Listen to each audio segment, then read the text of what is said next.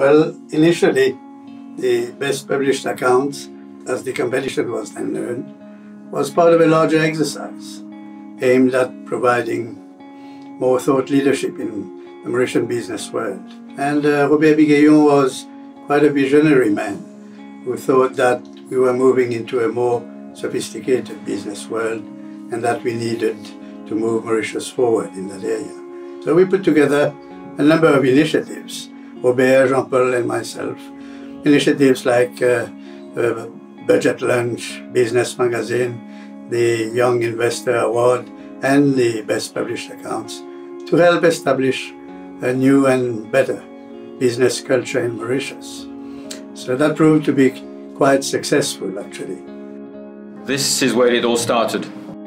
Uh, imagine the 16 partners of the new merged firm, PricewaterhouseCoopers, around this table with Robbie sitting where I am today. Mauritius had the offshore business activities that started up, but and the stock exchange was there, but we were not using international accounting standards yet. Uh, there was no Financial Reporting Act that came afterwards, uh, and the Code of Governance also came afterwards. At the time, uh, companies only reported the minimum to the Registrar of Companies, and Robert rightly thought that we had to go beyond the minimum legal requirements and uh, help investors, other stakeholders uh, recognize that there was more information coming to them and determining their investment decisions. And uh, to a large extent, the competition was successful in that.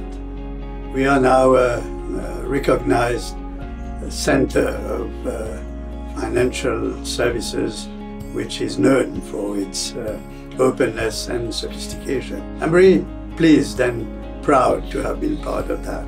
The financial reports are a lot better today. There is no comparison between what we, what we are seeing today and what existed then. Uh, we had photocopies of accounts from companies listed on the stock exchange. We still have them. Uh, but now the reports I've read this time vary between 140 and 300 pages. So there's a lot more information.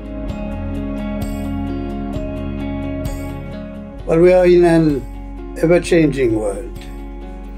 Just as 20 years ago we had to move forward, today in the digital era, the corporate reporting is constantly under review and taking new forms. There are new legal requirements from regulatory authorities there are more requests from investors. There are more uh, requirements as to what you report on, not only financial information, but today you have to report on the social uh, action of the company and the overall uh, political, social, economic environment. You have to show how you are adapting to all of this. You have to report on risk management, which has become a crucial issue and uh, trust has become central to business success today. The problem um, is that scandals uh, in the financial world have brought um, an element of overregulation. I'm thinking about various aspects within the states where they tend to try and uh, legislate integrity and honesty. This is not possible. It requires integrity from management, it requires backbone from the auditors, it requires the regulators to do their job and for users um, not to believe anything that is said, but to go deeper into the, uh, into the documentation. You can't be uh, happy today with just one uh, corporate report once a year uh, in a paper form. You have to constantly communicate with your staff, with your shareholders, with your stakeholders, with the authorities. So we are, we are looking at new ways of communicating on new areas of interest.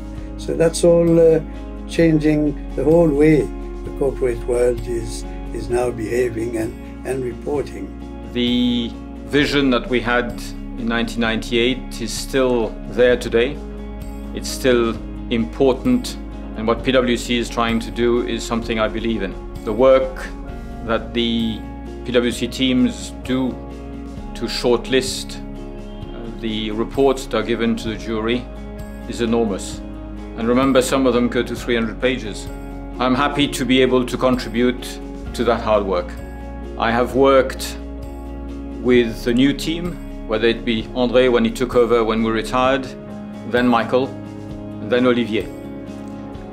And having worked with them and having seen how they care for corporate reporting and for what they are trying to do and trying to bring integrity reporting to Mauritius, I'm certain that the award, the vision we had, is in good hands. I trust PwC with always staying ahead of the crowd and always uh, meeting these new challenges.